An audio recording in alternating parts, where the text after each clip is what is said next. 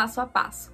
Faz tempo que não rola passo a passo por aqui e hoje eu vou ensinar essa belezura aqui, ó. Esse cesto super diferente com base em MDF de pezinho. Ai, que lindo, gente, é muito fofo. Então, eu fiz essa tampa muito legal para compor ele, mas você pode muito bem usar só ele assim, ó, do jeitinho que ele tá e usar várias coisas dentro. Eu usei a base de MDF lá da loja da Matilda, vou colocar o site delas aqui na descrição. E se você já é minha aluna de qualquer curso meu, tem cupom de desconto, tá? É só você entrar lá na plataforma, pegar o cupom de desconto da loja Matilda e usar lá no site delas, tá? Esse cesto tem esse ponto super diferente. Eu quero que você já comente aqui pra mim o que, que você colocaria dentro dele. Você usaria esse cesto pra quê? Me fala. Então, esse daqui eu coloquei a tampa porque eu achei que deu um charminho a mais. Mas nessa aula eu vou mostrar pra você só como fazer o cestinho. Mas se você quer aprender a tampinha também, comenta aqui embaixo pra mim. Se tiver muitos comentários, eu posso fazer um outro vídeo ensinando a tampa. Se gostou, já dá logo o curtir antes de começar mesmo, que isso me ajuda a divulgar mais esse vídeo para mais pessoas e bora pra aula. Então, para fazer esse cesto, a gente vai utilizar essa base de MDF Lá da loja Matilda, essa base ela tem esse pezinho diferenciado e você encontra o site aqui na descrição do vídeo.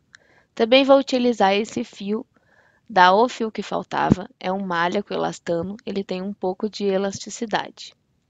Então vamos começar. Vou usar a agulha aqui de 5,5 milímetros, ela tem a pontinha mais fina para poder passar nesse buraquinho, ela não é agulha indicada para esse fio, é só apenas para passar o buraquinho aqui na base de MDF. Apoiei o meu fio no dedo, vou colocar a minha agulha em qualquer buraquinho aqui da base, laço o fio, puxo para dentro, vou dar uma ajustada aqui, e depois eu coloco a cada buraquinho, puxando o fio por dentro do buraquinho e fazendo um ponto baixíssimo. Esse ponto baixíssimo, ele vai servir para esconder os buraquinhos da base. Então, a gente vai fazer uma carreira toda de pontos baixíssimos e depois a gente vai fazer a carreira de pontos baixos para poder subir de fato o cestinho.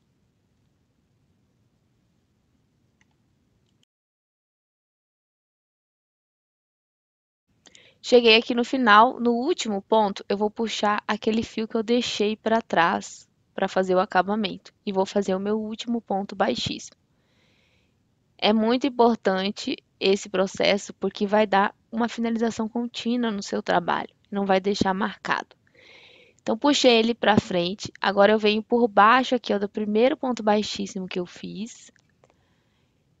Agora, introduzo a agulha por trás, no mesmo buraquinho que o fio está saindo, e puxo o fio para baixo. Fiquei com a finalização contínua na parte de cima. E aqui na parte de trás, eu vou fazer um X para poder esconder esse fio. Vou colocar minha agulha no próximo ponto da frente, bem no centro do ponto baixíssimo.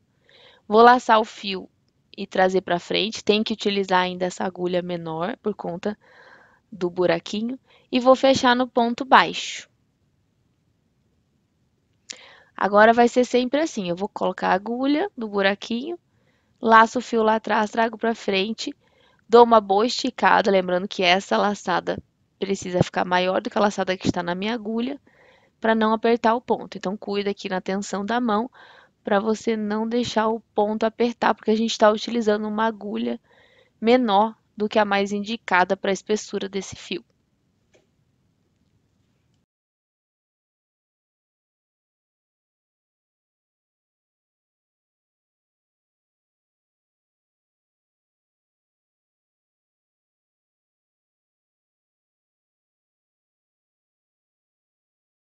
Uma coisa importante no fio de malha é você sempre ir ajustando a cada ponto. Então, faz o ponto, ajusta com a mão. Como ele é maleável, dá para você ir ajustando. Finalizei aqui a carreira de ponto baixo e agora eu vou fechar essa carreira com ponto baixíssimo. Então, passo a minha agulha de baixo para cima, laço o fio e fecho. Nota que agora eu já troquei a minha agulha e já estou utilizando uma agulha mais indicada para a espessura desse fio. Essa que eu estou utilizando é uma de 9 milímetros. E agora eu vou fazendo pontos baixíssimos por toda a borda da minha base. É através desses pontos baixíssimos que a gente vai subir a parede. Cheguei no último ponto, eu vou cortar o meu fio E agora eu vou utilizar a agulha de acabamento, que é mais fina, para não abrir o ponto. E vou fazer a finalização contínua na parte da frente e na lateral. Então, localizo o meu primeiro ponto, passo o fio por baixo desse ponto. Depois eu introduzo a agulha no mesmo lugar que o fio está saindo. E puxo o fio para dentro, formando a finalização contínua na parte de cima. Esses pontos baixíssimos aqui é onde a gente vai subir a parede. Agora eu coloco o fio no centro e vou fazer a finalização contínua na lateral. Localizo aonde está o primeiro ponto, passo o fio por baixo desse primeiro ponto, né? No caso aí é a cabecinha do ponto baixo que a gente fez, e volto com o fio no mesmo lugar que ele saiu. Então, formei a finalização contínua na lateral também.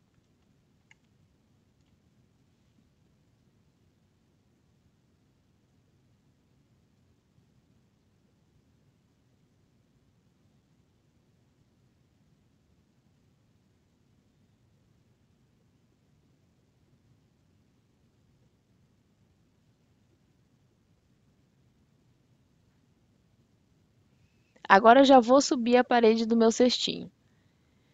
Então, eu localizo aqui ó, o meu ponto baixíssimo, pego o fio, laço, traço por dentro e faço o que eu chamo de falso ponto baixo.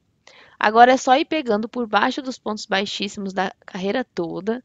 Já apoiei o meu fio ali para esconder, já fazer o acabamento. E vou fazendo os pontos baixos no ponto baixíssimo que eu fiz para finalizar a base. Essa é a primeira carreira e a única carreira na cor azul que a gente vai fazer aqui.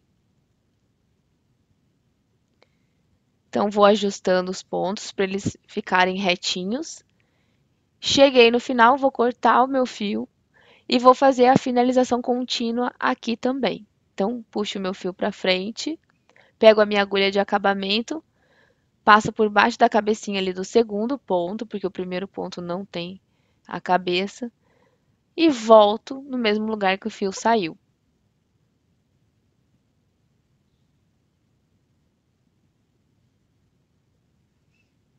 E aqui eu vou esconder aqui, da, vou torcer o fio pelas bordas aqui da cabecinha do ponto para já fazer o acabamento e aí a gente vai fazer a troca de cores para começar a fazer o ponto diferente.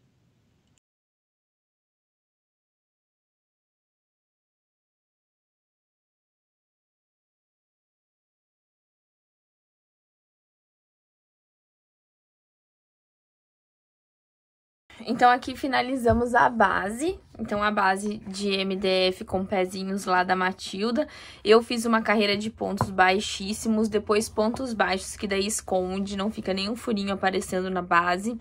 E depois subi com... Fiz uma carreira de finalização e subi por essa carreira de finalização em ponto baixíssimo uma carreira de pontos baixos normais. E agora a gente vai começar o ponto diferente. Então, vou pegar aqui um fio de cor clara, uma cor bem contrastante, essa cor que eu utilizei aqui.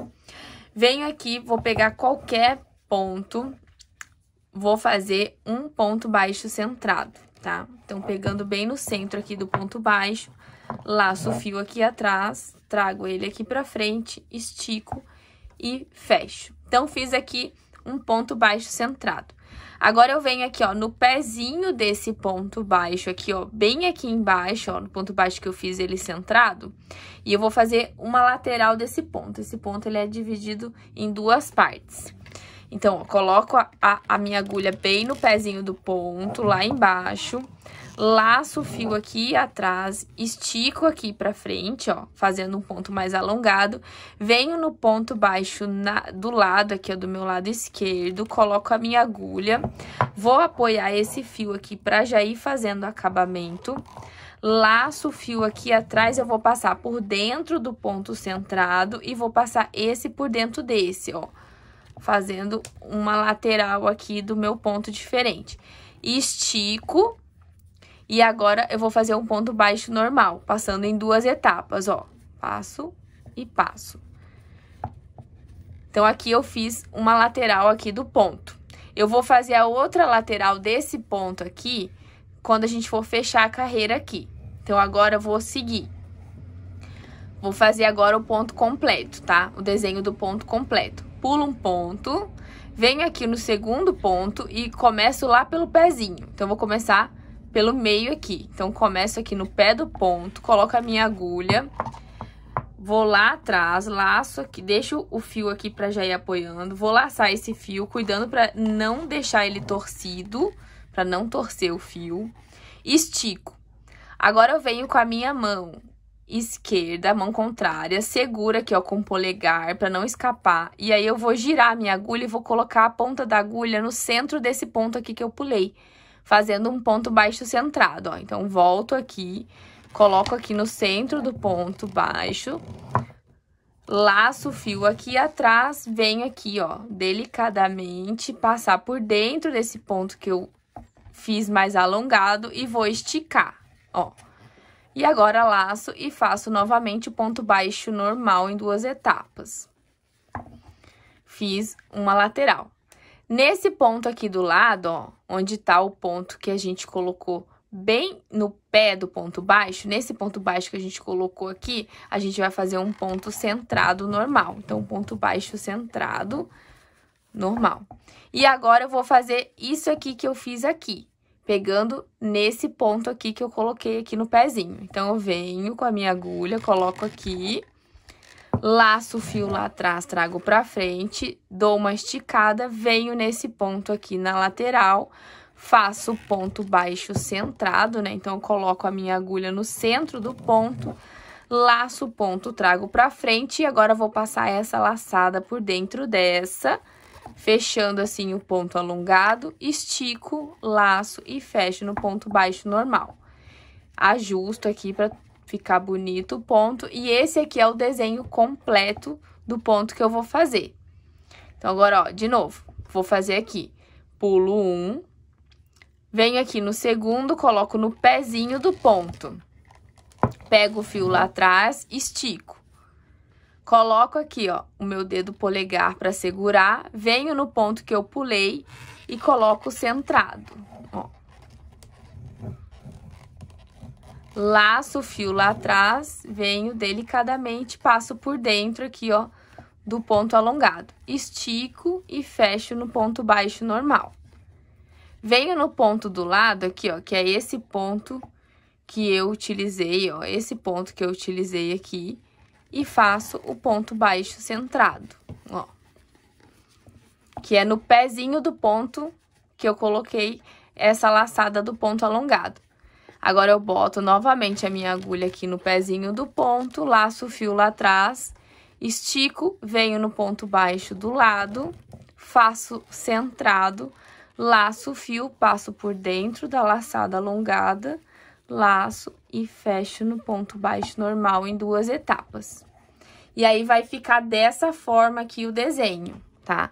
Então, esse é o desenho do ponto.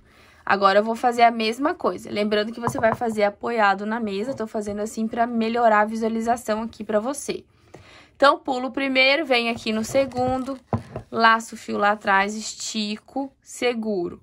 Volto no ponto que eu pulei, faço o centrado, laço, passo por dentro e estico. Ajusto aqui o meu ponto para ficar bonito. Laço, fecho no ponto baixo normal. Venho nesse ponto aqui, faço um ponto baixo centrado. Volto aqui no pezinho do ponto, laço o fio, estico, venho no ponto baixo do lado, laço aqui, passo por dentro do alongado, laço e fecho no ponto baixo normal. E aí, vai ficando dessa forma. Vou fazer até chegar ao final aqui, onde eu vou mostrar como a gente vai fazer o fechamento. Cheguei aqui no final, ó. Falta um ponto aqui para fechar a carreira. E eu tenho que finalizar aqui, fazer o outro lado desse conjunto de pontos aqui. Então, eu venho aqui no pezinho do ponto, estico, volto no ponto que a gente pulou, Faço ponto alongado, laço e faço ponto normal. Agora, eu vou fazer um fechamento invisível aqui de carreira pegando nesse ponto aqui. Então, vou fazer um fechamento invisível e vou fechar no ponto baixo centrado. Então, passo aqui, ó, na cabecinha do segundo ponto, pego essa laçadinha, jogo lá pra trás, ó, ajusto aqui pra não sobrar muito fio, coloco a minha agulha no centro aqui, ó, desse ponto e vou fazer o ponto baixo alongado. Ó, tem que pegar certinho aqui, ó, perninha para um lado, perninha para o outro. Laço o fio aqui, trago ele para frente, estico, coloco a laçada lá de trás, de volta na agulha, laço e fecho. E agora eu vou fazer de novo esse mesmo movimento. Venho aqui no pezinho do ponto, aqui embaixo, ó. Laço o fio lá atrás, trago pra frente. Venho aqui nesse ponto da lateral, coloco a minha agulha para fazer o ponto centrado. Laço o fio, trago para frente, pego essa laçada, jogo dentro dessa, fazendo ponto baixo alongado, estico e fecho com ponto baixo normal.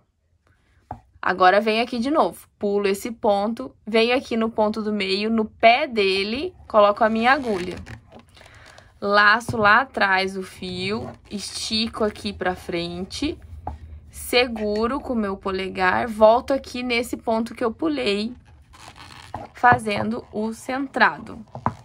Laço o fio aqui atrás, estico e fecho no ponto baixo normal. Ajusto aqui o meu fio pro ponto ficar bonito, ó. E agora ele vai criando forma. Venho aqui no ponto do meio, vou fazer um ponto centrado.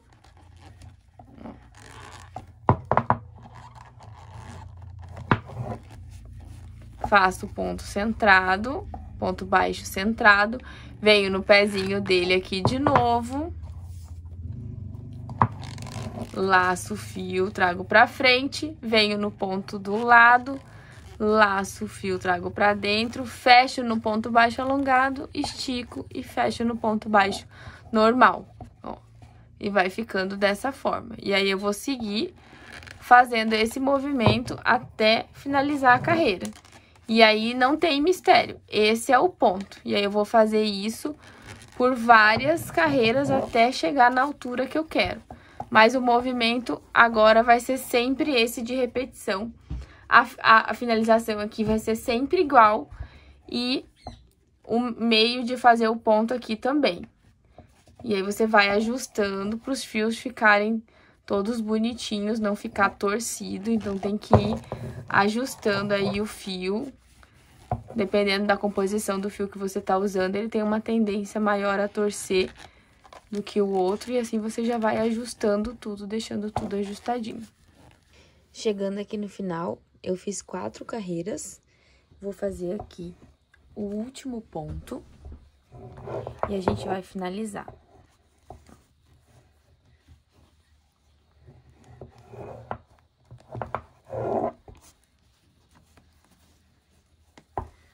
Pronto, cheguei aqui no final. Agora eu vou cortar o fio e vou fazer uma finalização contínua.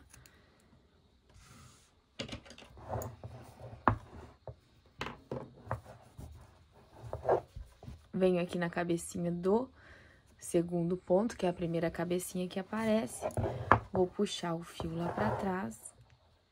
Venho com ele aqui por dentro. E depois eu vou esconder aqui por dentro dos pontos. E aí, pra fechar, eu vou fazer a carreira de acabamento. Olha como ficou bonito. Eu vou fazer a carreira de acabamento no azul, que é para dar um efeito.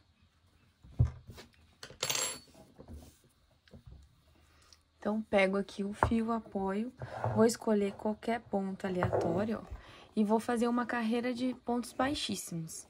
Então, ó, eu lacei o fio aqui, trouxe pra frente, vou ajustar aqui. E aí, a cada ponto, vou deixar essa tirinha aqui pra dentro pra depois fazer a finalização. A cada ponto eu trago para frente e trago para dentro.